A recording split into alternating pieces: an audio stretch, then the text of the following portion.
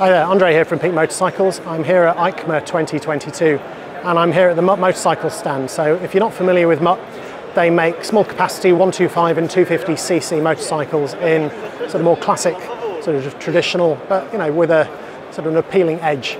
Uh, and I'm just going to show you around the bikes here. I think I did a video from the stand uh, last year. Uh, however, I think there's a couple of new things that have come out and a few new colorways and uh, a new engine as well, which might be interesting. So here we go. So the first bike I'm going to look at is called the Mastiff, and it's this one. And it's an air-cooled, I think this is a 125. But just to give you a really close look, this one's quite well lit, so I think I can show you everything on it. Just, I think the fit and finish is really good. You know, they are, um, the company's based out of, out of Birmingham here in the UK. Uh, but just lots of nice little styling cues, having the, the offset uh, fuel tank. I mean, I've got a similar Monza fuel cap on my CCM, and it was a, an extra I had to pay for. Um, but yeah, looking at this, coming down, seeing the seat, and then those uh, uh, that exhaust just here on the side. I'm going to have a wander into the stand and just show you a couple of others. So here we have a twin shock, and I think almost all of these bikes are available in both a 125 and a 250. Um, just to come up and show you another, another couple of variants uh, of that, and then another one down here. And then the one that really took my fancy is this one over here uh, the red one. So this is the one. This is called a Razorback, and I think with the the red and the gold, I just think that looks that looks fantastic. So I think this is the 125, but it is also available as a 250. This is actually the low variant. As you can see, it's just super super narrow as well. Um, love those flat tracker tyres uh, that are on it, that, that low slung exhaust. And actually, you know what?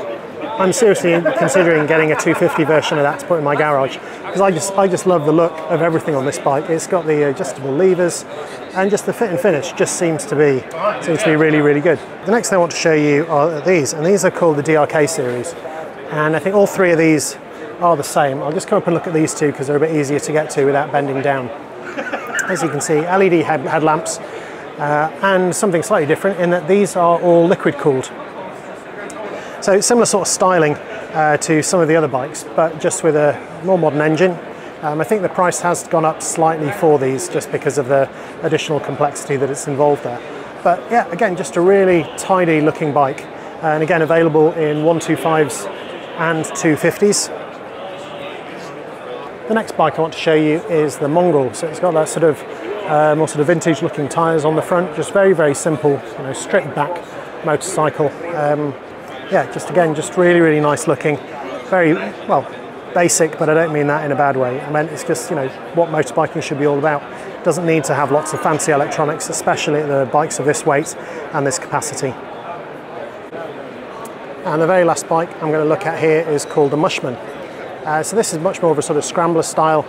Uh, it's got those sort of knobbly tyres, um, but with that very, very low slung uh, exhaust underneath. Again, available in a 125 and a 250. Uh, it's got the LED headlamp on the front, and yeah, just you know very straightforward, simple looking bikes. It does have that excellent alternative to a tank bag with a luggage frame on that leather strap just across the tank. So there you have it. That is my quick look at Mutt motorcycles here at EICMA 2022.